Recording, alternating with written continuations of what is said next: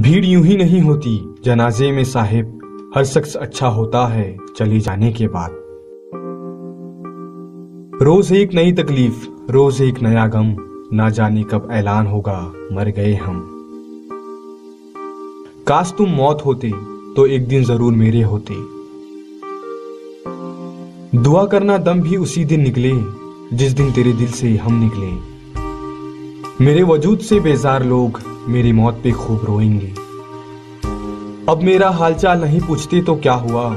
कल एक एक से पूछोगे कि उसे हुआ क्या था। कर देना माफ़, अगर दुखाया हो दिल आपका। क्या पता कफन में लिपटा मिले कल ये दोस्त आपका। आदमी अच्छा था, ये सुनने के लिए मुझे मरना पड़ेगा।